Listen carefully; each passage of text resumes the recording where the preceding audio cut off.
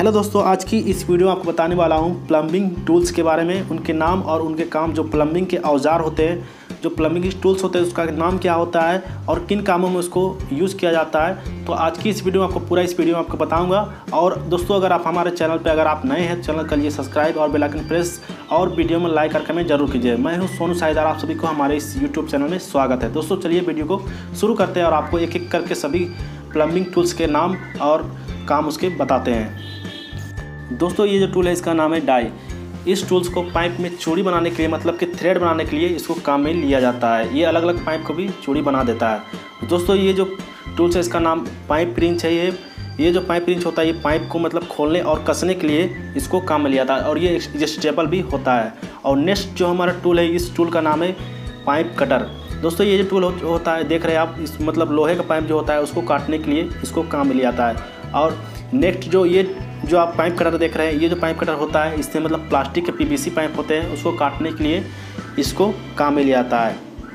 और ये जो टूल्स आप देख रहे हैं, इसका नाम है पिल्लर वाइस इसको ज़्यादातर बोरवेल में इसको काम में लिया जाता है। मतलब बोरवेल में हेडपम्प या समरसेबल जो होता है, उसको बोरवेल से निकालने और लगाने के लिए इसको काम में लिया जाता है। ये पाइप को मजबूती से पकड़े हुए रहता है और ये मतलब ये इसमें हैंडल होता है उससे से ये काम करता है। और नेक्स्ट जो हमारा ये टूल देख रहे हैं, इसका नाम है एक्सो फ्रेम इसको लोग, इसको तो आप लोग जानते होंगे, इसको देखे भी होंगे आप लोग। इसको मतलब पाइप या बहुत सी चीज़ को काटने के लिए इसको अलग अलग जगह में इसको काम में लिया जाता है। और ये जो टूल्स देख रहे हैं, इसका नाम है छेनी और हथौड़ी। ये तो सभी लोग जानते होंगे, इसका काम ये होता है कि किसी चीज़ को तोड़ने और काटने के लिए, ईट को काटने के लिए और तोड़ने फोड़ने के लिए इसको काम में लिया जाता है। दोस्तों, इस टूल्स का नाम है चैन रिंच। इसको बहुत से लोग नहीं जानते। इसका काम ये होता है कि इसमें, ये जो आप देख रहे हैं, इसमें चैन लगा हुआ रहता है। इसको मतलब बड़े बड़े पाइप जो होते हैं, इसमें चैन में एडजस्ट करके मतलब बड़े बड़े पाइप जो होते हैं, उसको खोलने और कसने के लिए इसको काम में लिया जाता है। इसका नाम है चैन रिंच।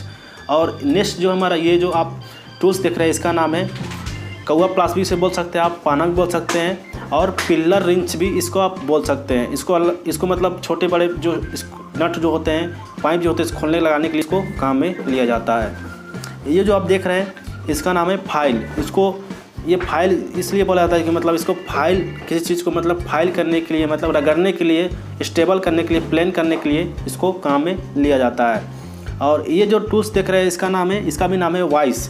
ये जो होता है, इसमें पाइप, किसी चीज़ को फंसा के, पाइप फंसा किया अब और सी चीज़ होते हैं, उसे काट, फंसा के काटने के लिए मतलब मज़बूत से पकड़ लेता है और काटने, फिटने के लिए इसको काम में लिया जाता है।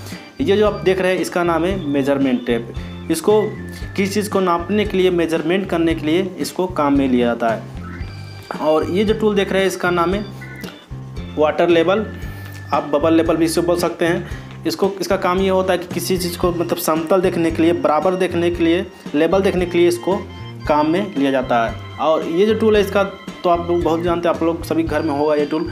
इसका नाम है स्क्रू ड्राइवर। ये छोटे बड़े स्क्रू होते हैं, इसको खोलने के लिए और कसने के लिए इसको काम में लिया जाता है। और ये जो टूल है, इसका नाम है ड्रिल मशीन। इसको हैमर बोला जाता है। ये जो होता है, टूल्स होता है इसे मतलब दीवार या बहुत चीज़ें होते हैं, जिसमें मतलब ड्रिल करने के लिए, अंदर मतलब गड्ढा करने के लिए इसको काम में लिया जाता है। और ये जो टूल है, इसको आप देख रहे हैं, इसका नाम है एडजस्टेबल स्पेनर रिंच मतलब इसको आप सलाई रिंच बोल सकते हैं मतलब ये एडजस्ट हो जाता है, इसमें छोटा, जैसे छोटा करेंगे, छोटा चीज़ खोलना होगा, नट खोलना होगा या बड़ा चीज़ खोलना होगा तो उसको आप छोटा, बड़ा करके इसको आप काम में ले सकते हैं। ये जो टूल्स देख रहे हैं, इसका नाम है रिंग रिंच इसको तो आप लोग जानते होंगे ये जो रिंग रिंच होता है, इसमें दोनों तरफ़ रिंग टाइप का बना हुआ रहता है और ये नट को खोलने और कसने के लिए इसको काम में लिया जाता है। और इस टूल्स का नाम है डबल ओपन स्पेनर इसको डबल ओपन स्पेनर रिंच भी आप बोल सकते हैं। इसको मतलब डबल साइड में ये स्पेनर बना हुआ रहता है और ये नट को खोलने और कसने के लिए इसको काम मिल जाता है। तो, दोस्तों ये था कुछ ज़रूरी प्लम्बिंग टूल्स जिसे हर प्लम्बर काम में लेते हैं और अपना काम को पूरा करते हैं। तो दोस्तों आज की वीडियो में इतना ही। उम्मीद करता हूँ आपको ये वीडियो पसंद आया होगा। पसंद आया तो वीडियो को लाइक करें कमेंट करें और हमारे चैनल को सब्सक्राइब करें। जय हिंद जय भारत।